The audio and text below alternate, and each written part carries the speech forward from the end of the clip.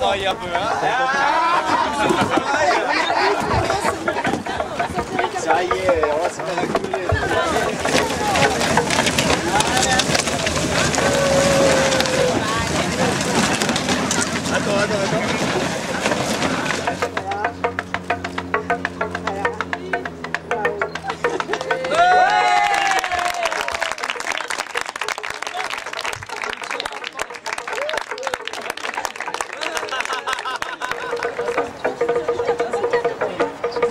La idea que tenemos con esto es simbolizar el fin de, de, las fronteras, pero simbolizar el fin de las fronteras no solamente económicas, sino también culturales, que eso es lo importante. Somos europeístas, pero también europeístas insumisos, es decir, que es verdad que estamos en contra de las políticas de austeridad que está eh, impulsando la Troika y además avalando también aquí por las políticas del PP, del Partido Socialista, por conservadores.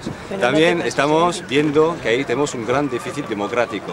Es decir, que los intereses de los capitales, de los servicios y de los bienes pasan primero y priman antes de los intereses de la ciudadanía y del medio ambiente.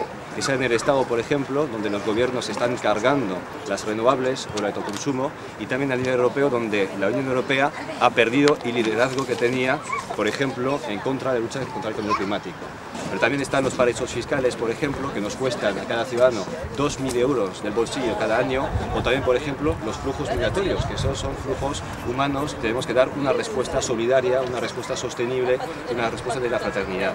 También añadir que tenemos una particularidad en el Partido Europeo, es que somos el único partido en haber realizado primarias abiertas a la ciudadanía en el conjunto de la Unión Europea. Nadie más lo ha hecho.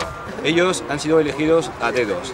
Y yo creo que además Keller probó en el debate que tuvimos eh, hace dos días que realmente los verdes tenemos ideas nuevas, frescas y creíbles. Y desde luego ganó el debate, sin ningún tipo de, de, de duda. Con mujer también. Sí, mujer, joven, el, el futuro.